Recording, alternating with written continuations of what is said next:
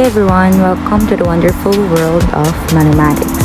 I'm Iya Jessie Castro and today we will define the term unit digit, define the concepts of unit digits, finding the unit digit of a certain number.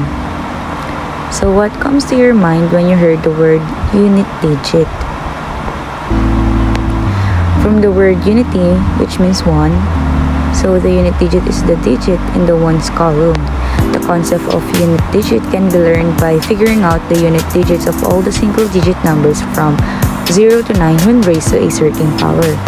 Unit digits of a number is the digit in the ones place of the number. Always remember that it is the rightmost digit of the number.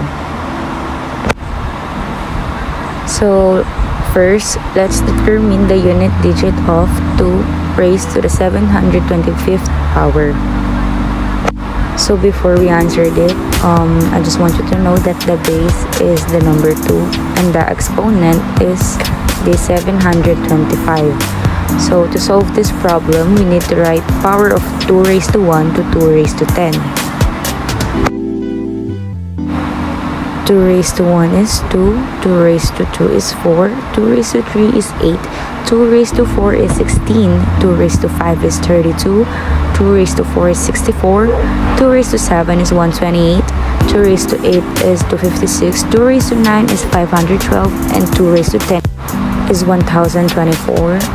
So, the first step is we must check unit digit of all the powers of 2. Kita naman natin, lahat naman siya is power of 2.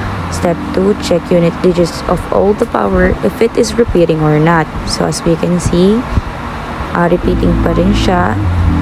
Since sabi doon sa first slide ko na ang meaning ng unit digit is the rightmost number.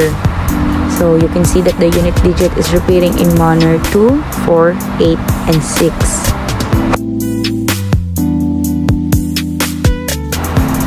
Here they are. O yan, makikita natin na ang repeating oneer is 2, 4, 8, and 6. Step 3, divide the exponent to the total number of the repeating digit. So if we divide 725 to 4, we get the remainder of 1. So bakit mo siya dinivide sa 4, hindi sa 2? Kasi nga, sabi dito, di-divide natin siya sa total number ng repeating digit, which is yung 4. So up to the next step, which is the last step, get solution check remainder. So if remainder is 1, then the answer is 2. And if the remainder is 2, then the answer is 4. If the remainder is 3, then the answer is 8. And if the remainder is 4, then the answer is 6. Since ang nakuha natin remainder is 1, then the unit digit of 2 raised to 725 is 2. Thank you!